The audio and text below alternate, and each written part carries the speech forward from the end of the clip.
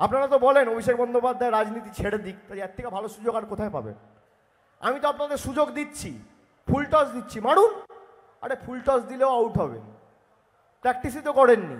আর আমরা সারা বছর মানুষের সাথে রয়েছি। যারা সারা বছর মানুষের সাথে থাকে, তাদেরকে এসব করতে হয় না, মিথ্যে কথা বলতে হয় না। আমি আপনাদের বলব, আপনাদের ভোট, আর আমার ভোট একই দিনে।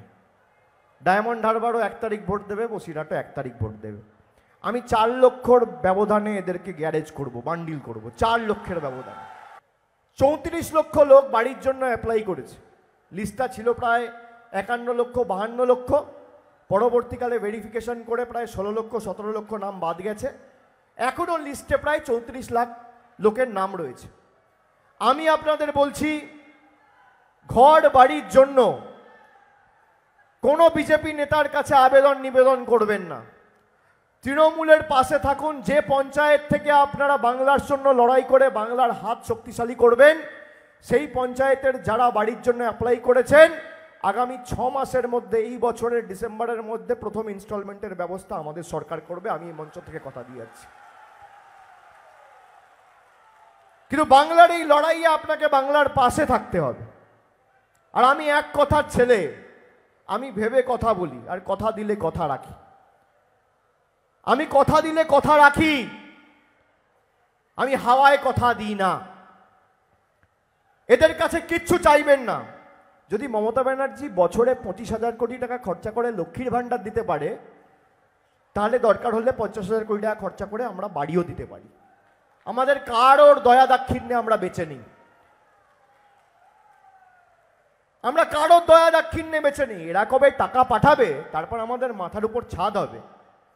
পাঁচ বছর, সাত বছর, দশ বছর অনেক কাকুতি মিনতি করেছি। অনেক আবেদন নিবেদন করেছি। অনেকবার ভদ্রতা দেখিয়েছি, সৌজন্যতা দেখিয়েছি। চিঠি লিখেছি, বৈঠক করেছি, আবেদন করেছি, আন্দোলন করেছি। আপনারা মান্যতা দেননি। আপনাদের কাছে খালি আমরা পেয়েছি নেতিবাচক মানসিকতা আর ধারাবাহিক প্রত্যাখ্যান। আগামী দিন তাই বাংলা সিদ্ধান্ত নিয়েছে যে দিল্লির কাছে নয়, আমাদের টাকা আমরাই ব্যবস্থা করব এবং আপনার টাকা লাগবে না, বাড়ির সরকার, বাড়ির টাকার ব্যবস্থা আমাদের মামাটি মানুষের সরকারই করবে। পাঁচ বছর যারা, দশ বছর যারা ক্ষমতায় দু হাজার চোদ্দ থেকে উনিশ দু উনিশ থেকে চব্বিশ, আমাদের অধিকার নয়, এদের কাছ থেকে কাজের রিপোর্ট কার্ড চাওয়া। এরা রিপোর্ট কার্ড দেখাচ্ছে না।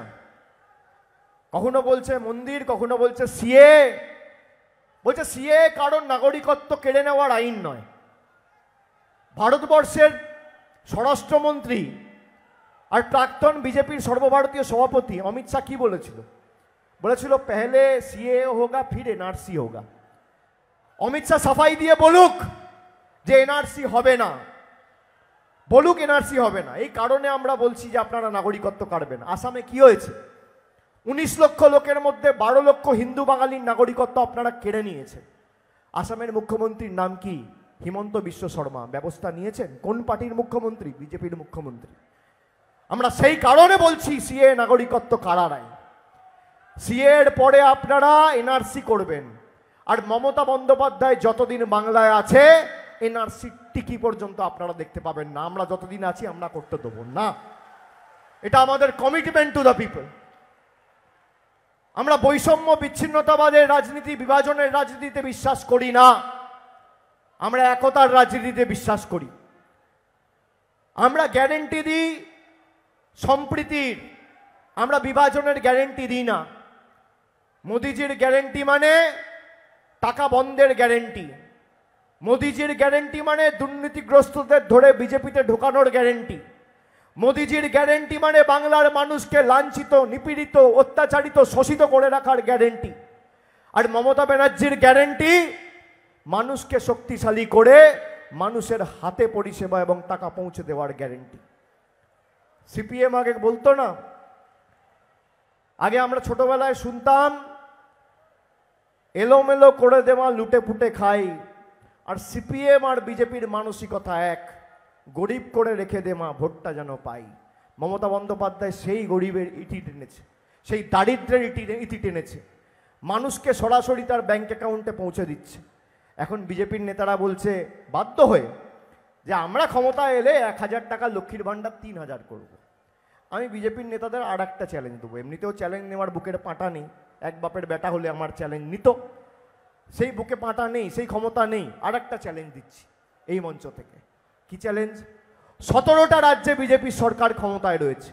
একটা রাজ্যে যদি তিন হাজার টাকা লক্ষ্মীর ভাণ্ডারেরা দিতে পারে, আমি রাজনীতি করব না, অবসর নেব। আবার একটা চ্যালেঞ্জ করে দেখাও। করে দেখাও!